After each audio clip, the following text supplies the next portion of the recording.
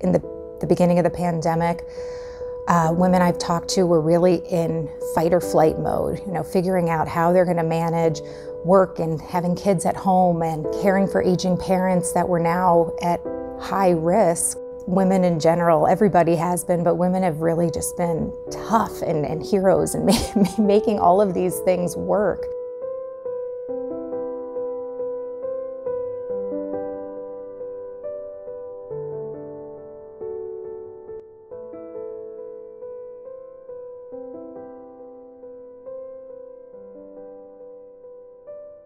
We don't know statistics for Iowa specifically yet, um, but we do know that um, our unemployment rate is at 3.1% as of last month.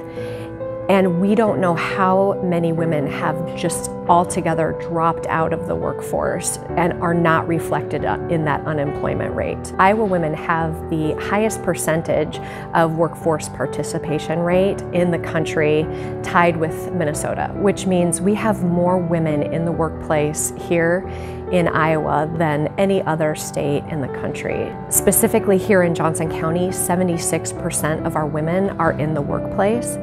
We need um, that uh, female perspective, a diverse uh, perspective in the workforce because um, spreading out economic um, equality throughout our communities means that nobody's being left behind and it also adds to our GDP, right? So if you're looking at it from a business perspective, when you have everyone participating in the workforce, if you have everybody educated, trained, um, engaged in whatever industry that they're in, that means that we are thriving and we are growing as an economy as opposed to if we're leaving a whole segment of our population out of the equation. And you know this is not just women this is you know diversity in the workplace. But specifically for women we find that um, when women are in the workplace and they are able to grow and thrive in their careers that money gets translated back into their children,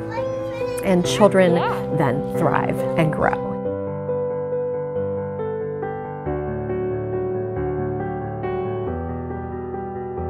The friends of mine who are who have kids and are working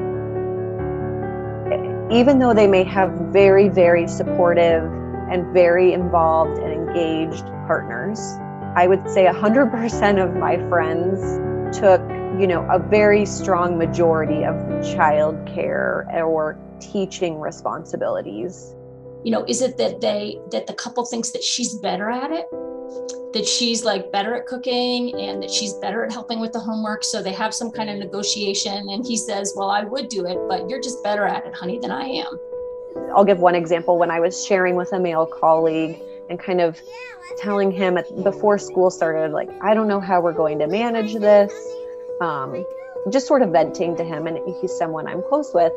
He was like, Well, can't you just work after the kids go to bed? and I was like, Yeah, I can if I never want to sleep. We mainly think of school as a, a source of education, and it certainly is. But for children who are especially under the age of 12, it also is a place where we know that they are safe and cared for um, while parents work.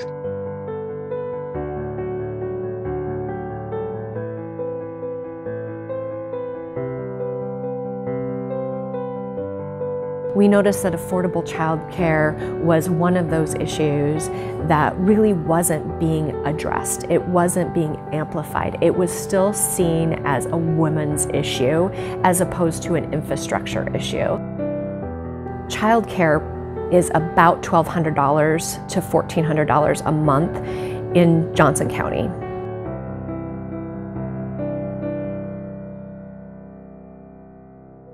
So we set up just a network uh, that we were calling neighborhood nests. So the nests were nurturing every student together safely. So these were sites throughout Johnson County uh, for school-age children where parents could um, drop their kids off and know that they were safe, they were getting logged on.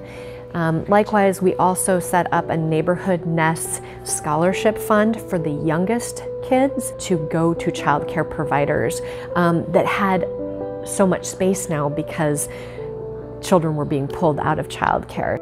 And very early on, we set up a um, kind of a concierge service for um, for healthcare workers that were in need of childcare. So at that time, in, in you know March, April last year, we had a lot of childcare centers in the area close. Parents were um, uneasy about sending their kids to childcare because that was another big thing. It wasn't just access; it was also kind of that uncertainty about the the, the risks of sending your child.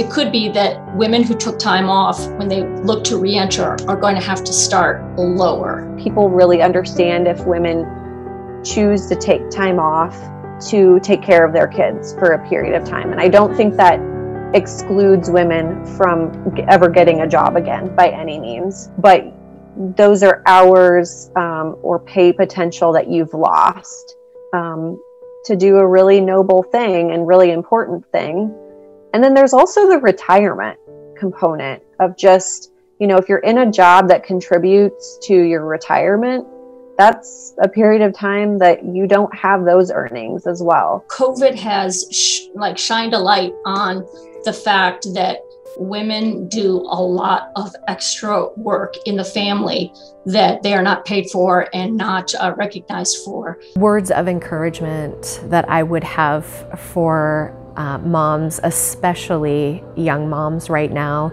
is um, just take take the pressure off yourself. um, I think that there are an older generation of women uh, in the workplace that are uh, advocating for those young moms. Um, my kids are 19 and 16, so I I have spent a lot of time thinking about what would it have been like if my kids were two and five and or you know young kids. And I think there's a lot of empathy out there for for moms. 2022 when we're all back in the workforce I think that there is an older generation of women that are really going to grab a hold of this issue and pull women up and say um, okay we had a rough go of it and now let's get back to work